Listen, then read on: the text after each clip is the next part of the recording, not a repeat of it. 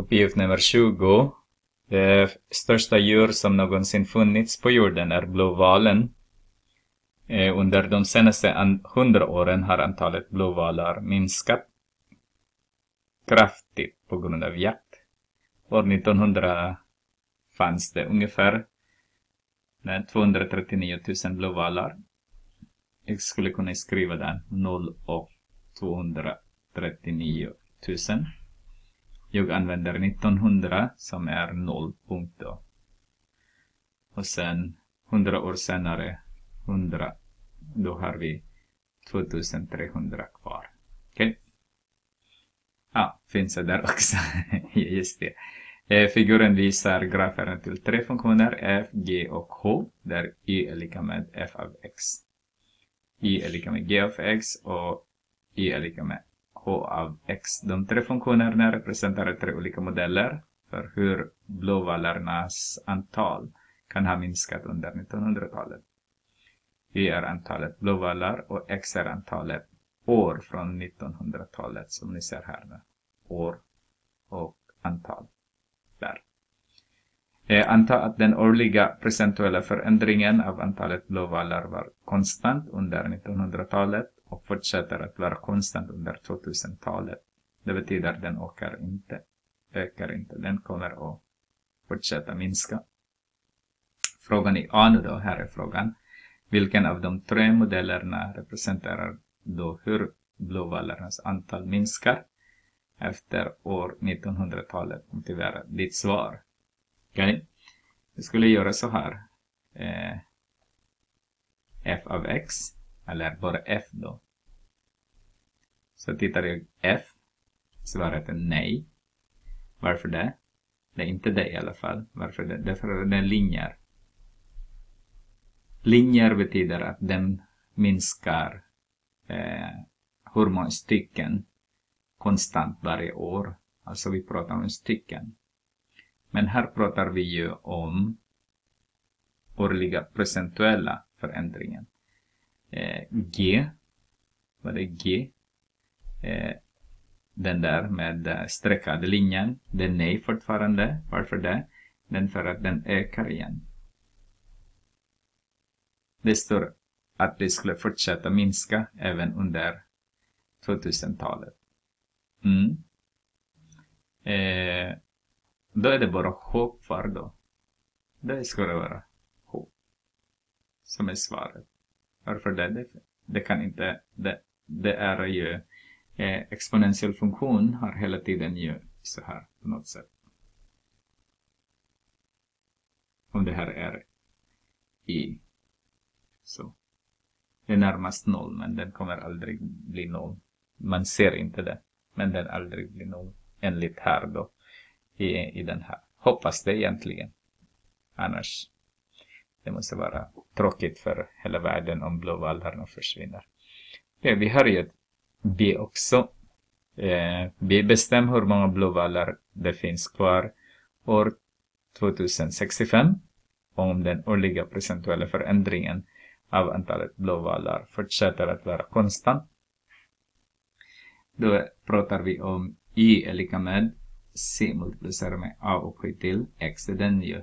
Och vi har två punkter som vi har 0 och 239 000.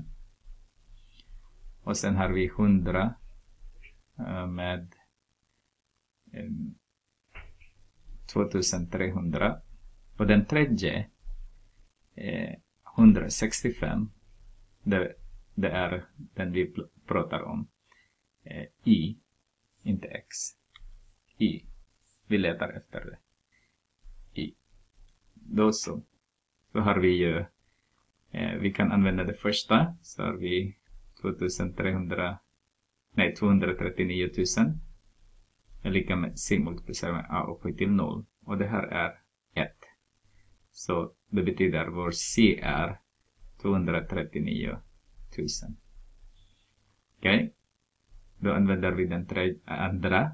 Så har vi eh, 2300 är lika med 2000, 239 000 multiplicera med a upphöjt till 100. Om vi dividerar båda led med, med 239 000. 239 000. Så där är 1. Så har vi a upphöjt till 100 är lika med 2300 dividerat med eh, 239 000. Om vi tar eh, 100 ruten ur av den 100 ruten ur av den då har vi a där nu då som den här. Okej? Okay? Så har vi i är lika med c 239 000 och A så har vi 100 ruten ur av 2300 dividerat med 239 000 upphöjt till vårt x nu då. Vad är vårt x? 165. Och då räknar vi det. Okej? Okay? Då har vi här. Aha. Lägga upp.